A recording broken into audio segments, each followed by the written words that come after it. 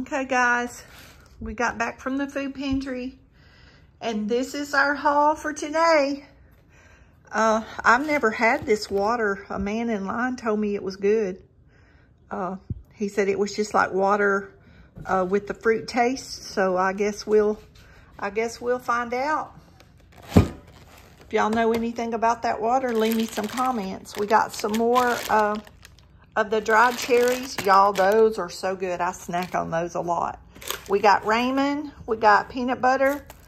Two pounds of uh, hamburger meat. Y'all, and this hamburger meat is very good.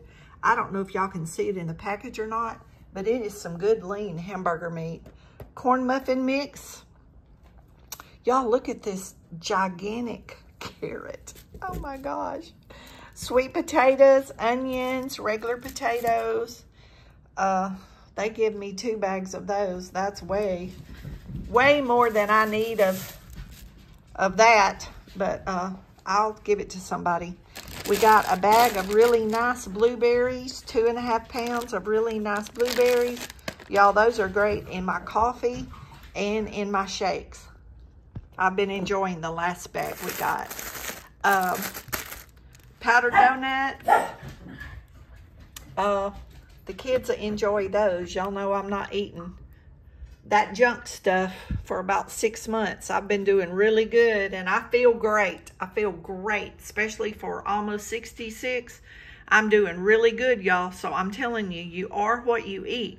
And if you buy all that processed stuff, you're going to feel like crap. Just, I'm going to tell it like it is. It's going to make you feel tired. It's going to beat up your immune system. You're going to get sick with everything that comes along. Uh, plus, whatever all those chemicals that mess cause. Um, I eat, I'm eating more whole raw foods. Very, very little meat tiny, tiny bit here and there of red meat. Chicken and fish maybe once a week or once every two weeks. I'm getting all my protein from vegetables and peanut butter. Uh, I do have a powdered supplement if I need it uh, which I bought one box, six, one container six months ago and haven't even gone through that one container. So that tells you how little of that I'm using. And I got two more books. And uh,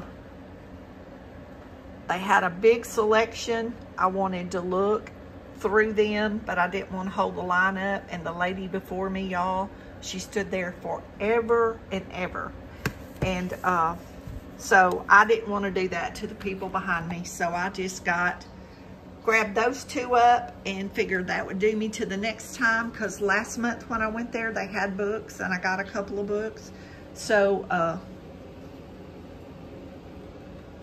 that'll be enough reading for me for a while. I do prefer to hold a book over a tablet or a screen. I do most of my reading on my iPad, but I would prefer to hold a book. So I do have some other stuff to read. Uh, those little stories like I used to read to y'all in the videos that never got any views. So I quit reading those. They hardly got any views. That's kind of how I started my channel off with those little Christian stories or uh, Nugget, what do you have? Y'all, hang on. Nugget's got something. Oh, it's a part of the I took the incubator apart and it's, I'm glad I heard him chewing on it. It's a little stick stopper that goes in there. We took the five eggs out this morning. Two had babies that were not gonna hatch. They quit peeping almost two days ago. And sure enough, I broke the eggs and they were not alive and the other eggs were not fertile. They were just cloudy and the light wouldn't go through, so I thought they were fertile. So we have 13 baby chicks, and I'll do an update on them in a, another video. Right now, I just got the signal that the battery's about to die on my phone. So this is our food pantry haul. Uh, y'all be blessed. Know your love. Jesus loves you more. And we'll see y'all in the next video. Thanks for your prayers.